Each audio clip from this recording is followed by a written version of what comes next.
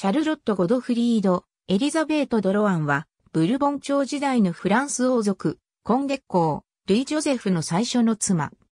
スービーズ公、シャルル・ド・ロアンと、その最初の妻で、ブイヨン公、エマニュエル・テオドーズの娘アンヌ・マリー・ルイーズの間の第一子、長女。1753年5月3日、ベルサイユ宮殿にて、血統親王の一人であるコンデ公、ルイ・ジョゼフと結婚。父スービーズ公は娘に2000万リーブルもの巨額の持参金を用意した。コンデ公妃シャルロットは洗練された女性で、貧者に憐れみ深かったとされる。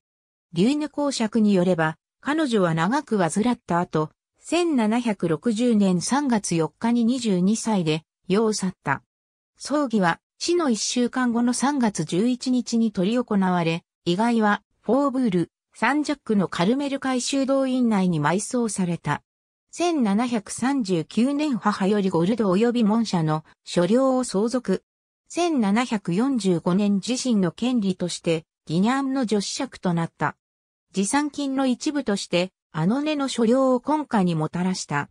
イボ妹のゲメネ公妃、ビクトワール・ドロワンは王妃マリー・アントワネットの賭博仲間であり、王家のガバネスの養殖を務めている。ありがとうございます。